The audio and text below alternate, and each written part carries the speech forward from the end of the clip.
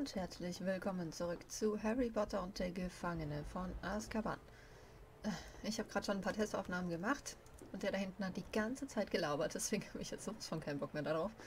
Aber irgendwie ist es ziemlich laut wieder im Hintergrund, kann das sein? Ich habe irgendwie das Gefühl, dass ständig diese Lautstärke zu hoch ist.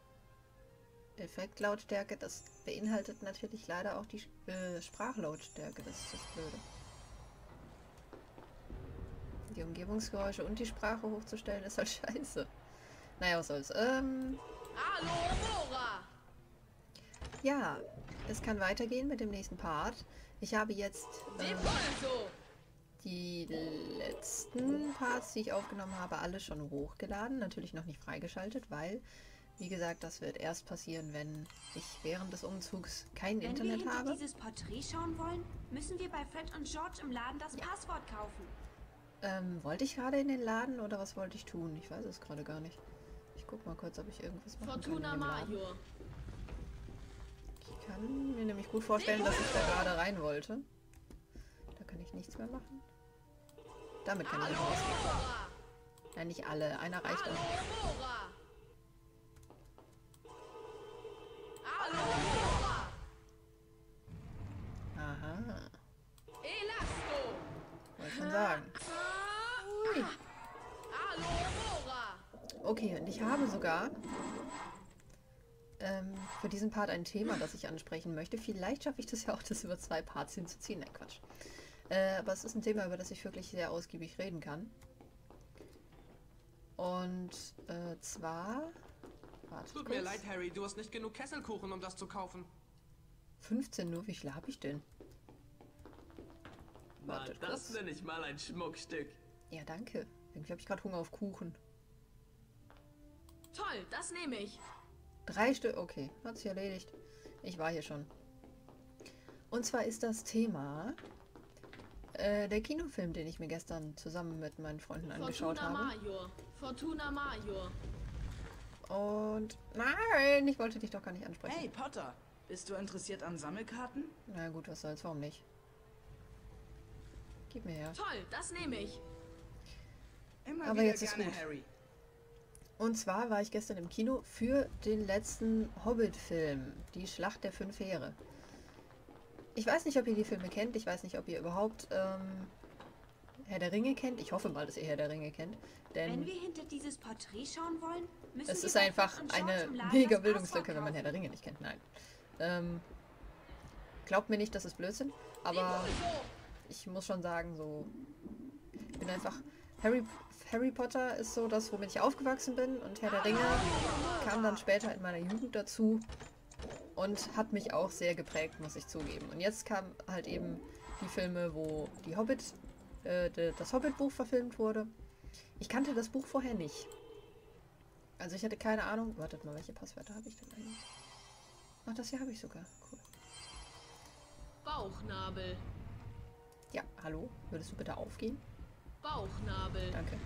Ähm, ich habe die ersten beiden Filme auch im Kino gesehen.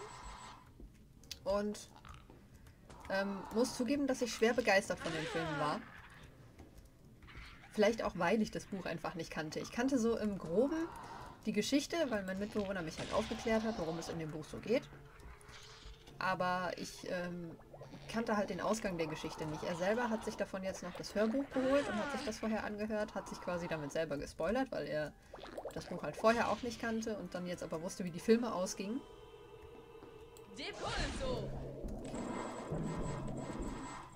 Und ähm, naja, ist ja eigentlich egal. Jedenfalls ähm, habe ich festgestellt, dass ganz, ganz viele Leute, die das Buch kannten und jetzt die Filme gesehen haben, sich wahnsinnig aufgeregt haben. In erster Linie darüber, dass zu sehr in die Handlung des Films eingegriffen wurde. Ich meine, ich fand es am Anfang schon schwierig, aus einem Buch drei Filme zu machen. Aber sie haben es tatsächlich sehr gut umgesetzt, finde ich.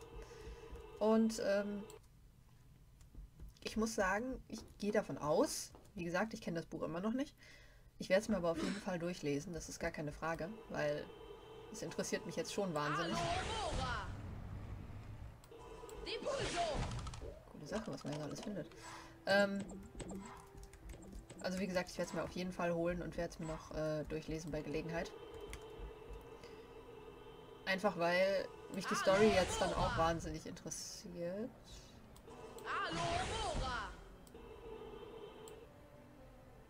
Ähm, warum reagiert hier eigentlich nie was? Oh, ah. Oh, hier ging es weiter. Ich dachte schon, jetzt reagiert schon wieder irgendwas nicht. Ist ja nervig.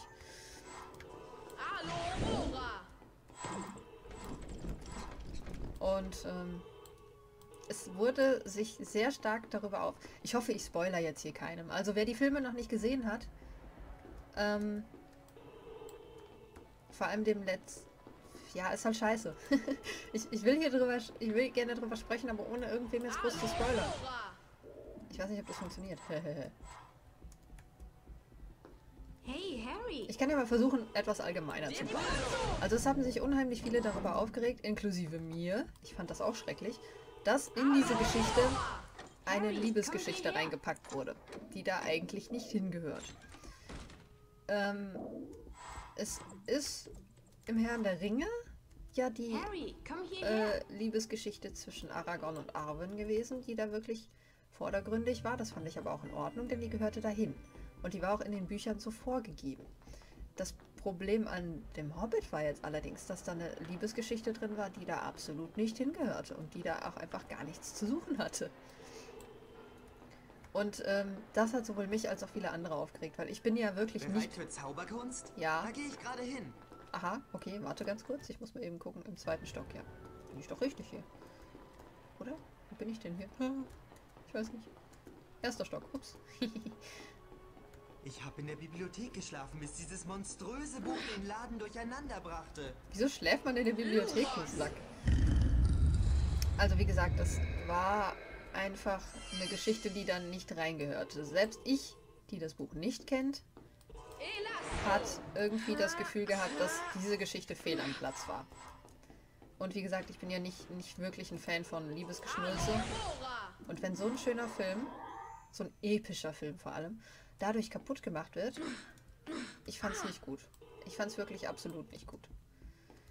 Aber das, damit will ich nicht sagen, dass der Film nicht gut war. Der Film war phänomenal. Alle drei Filme fand ich richtig gut. Als ich den ersten gesehen habe, war ich schon hellauf begeistert, habe wahnsinnig lange dann, also was heißt wahnsinnig lange, aber ich habe unheimlich darauf hingefiebert, dass der zweite Teil endlich erscheint.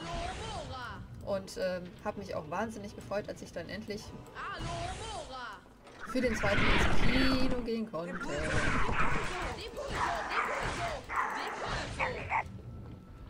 Huh. Den zweiten fand ich schon mega cool, einfach wegen dem Drachen. So, der Drache war einfach das Highlight von dem zweiten Film. Ähm, jetzt im dritten sagt sich ja schon die Schlacht der fünf Heere. Ähm, ich fand diese Schlachten wirklich unglaublich episch. Ich hatte manchmal, ich hatte wirklich richtig Gänsehaut teilweise, weil ich das so wahnsinnig cool fand, wie die das einfach umgesetzt haben. Also Peter Jackson war ja der Regisseur. Kommt das ungefähr hin? Ich bin mir gerade gar nicht sicher. Gott, bitte lasst mich nichts Falsches sagen. Ähm, jedenfalls, ich muss ein wahnsinnig großes Lob an den Regisseur aussprechen. Ich will mir auf jeden Fall noch mehr Filme von ihm anschauen, einfach weil ich merke, Wir wie müssen wahnsinnig, Fred und George Ja, im Laden ein. Passwort kaufen, um zu sehen, was hinter diesem Porträt steckt. einfach weil ich merke, wie wahnsinnig gut er solche Filme umsetzt. Und es ist wirklich der erste Film, Da läuft eine Art Seit- Monsterbuch Amok. Ich hoffe, Okay, ihr Moment. seid gekommen, um uns zu helfen. natürlich, doch. Ihr bekommt jedes Mal eine Sammelkarte, wenn ihr alle Seiten besiegt. Es gibt insgesamt fünf Karten. Keine Sorge, wir kümmern uns darum. Viel Glück. Ich würde ja helfen, aber äh, ich bin spät dran. Ja, sehr spät dran. Ah ja. Also ich hoffe, es ist jetzt nicht zu laut und ich kann wenigstens ein bisschen weiter erzählen. Ähm, dieser Film... Das ist überhaupt nicht zu viele Blödsinn.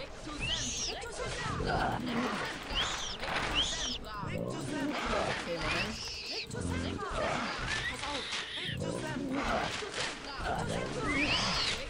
Okay, es werden immer mehr, das ist das Nervige. Vertrauensschülerin sagte, wir bekommen alle fünf Karten, wenn wir das Ding endgültig besiegen. Okay, das ist dasselbe Prinzip wie bei den Wichteln. Ich glaube, ich erzähle danach weiter. Ich muss mir nur merken, wo ich äh, stehen geblieben war. Äh, der erste Film seit langem. Der erste Film überhaupt. Ist egal. Ähm, man muss hier gar nicht alle Karten besiegen. Das ist wieder das mit diesem Streifen daneben. Den, äh, Vollkicken. Okay,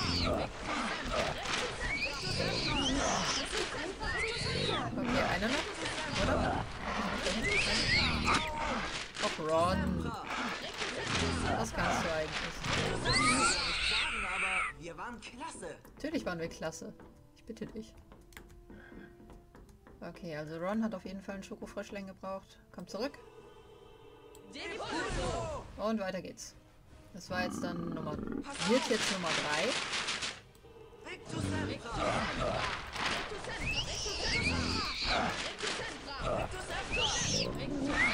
Irgendwie habe ich das Gefühl, es sieht zwar so aus, als würden die zaubern, aber so richtig was treffen tun die auch nicht. Oder? Bilde ich mir das noch ein? Also ja, sie treffen schon, aber ganz am Ende, wenn die Karten dann auf uns zukommen, dann treffen die nicht mehr. Okay, das war Nummer 3. Zwei Stück brauchen wir noch.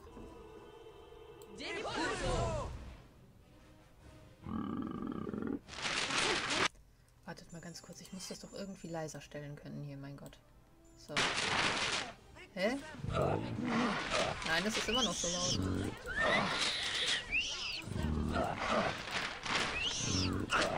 Aua.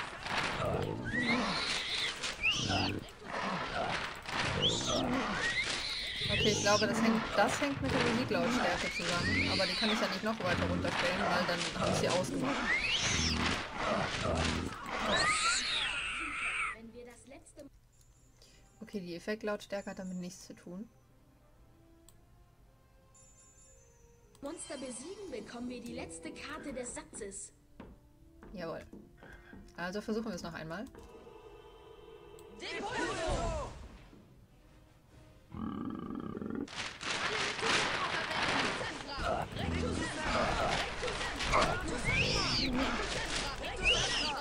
Okay, wir stecken ganz schön ein gerade. Hilfe. Das ist das letzte. Siehst du, Hermine macht einfach gar nichts. Die schafft es nicht, diese Seiten zu treffen, wenn die auf sie zukommen.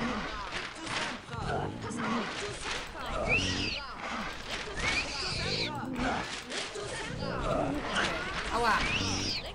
Oh, die sind aber auch wahnsinnig schnell geworden, diese Seiten. Das ist ja der Wahnsinn.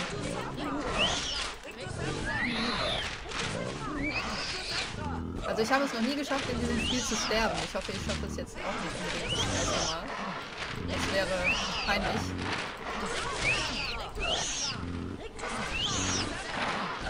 Okay, kommt schon, ey, da habe ich doch was geschafft. Aua. Ah! Oh Gott, ich bin gleich tot! Ich bin tot. Ich habe es tatsächlich das erste Mal geschafft, in diesem Spiel zu sterben. Holy shit. Hey, das sieht lustig aus hier. Okay, ich hoffe, ich muss das jetzt nicht ganz von vorne machen. Aber daran merkt man wieder, dass die KI nicht ganz so ausgereift ist, wie ich es mir eigentlich erhofft hatte.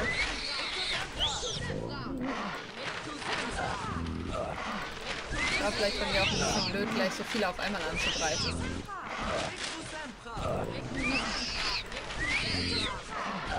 Ich sollte die anderen beiden den ersten Angriff ausführen lassen und selber den letzten ausführen. Das ist, glaube ich, ein ganz guter Plan. Ja. Jetzt kommen nämlich immer nur noch mehr auf uns zu und das können wir am Ende dann nicht handeln.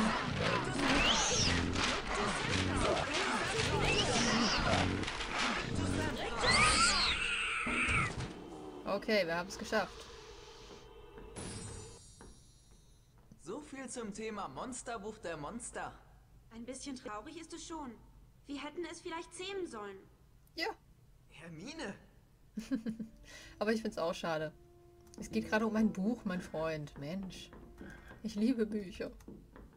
Okay, wir haben den Kartensatz zusammen. Ich würde mir dann ganz gerne die Karten einmal ansehen. Welche waren das denn jetzt? Die Hexen wahrscheinlich, oder? Oder die Zauberer? Ach, das sind wieder zehn. Hier, die Hexen waren das. Baba Yaga. Mittelalter. Daten unbekannt. Russische Waldhexe, die in einer Hütte mit riesigen Hühnerbeinen lebte. Aß Kinder zum Frühstück und angeblich auch zum Mittag und Tee. Oh, ist ja sehr charmant. Malodora Grüm. Mittelalter. Daten unbekannt. Verbarg ihre wahre Waldhexengestalt mit einem Schönheitstrank. Heiratete einen König und stärkte ihr Selbstbildnis mit einem Zauberspiegel. Wurde eifersüchtig auf die schönste Frau im Reich und gab ihr einen vergifteten Apfel. Ja, Schneewittchen. Die kennen wir ja. Cordelia Misericordia, 1298 bis 1401. Gesandte der Waldhexen beim Treffen des Zaubererrats im 14. Jahrhundert. Ich muss mal ganz kurz auf die Zeit achten. 16 Minuten. Old Mother Hubbard, Mittelalter, Daten unbekannt. Lockte streunende Tiere in ihre Hütte und ließ sie verhungern. Oh. Letizia Somnolens, Mittelalter, Daten unbekannt.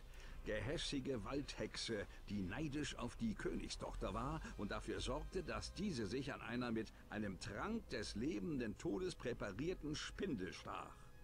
Ein junger Zauberer, dessen Lippen mit einem Mega-Power-Trank benetzt waren, küsste die Prinzessin und erlöste sie.